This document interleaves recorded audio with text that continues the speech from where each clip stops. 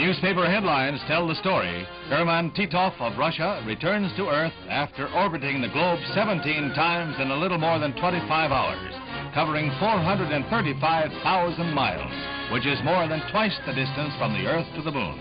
An orbit by a U.S. astronaut is planned later this year.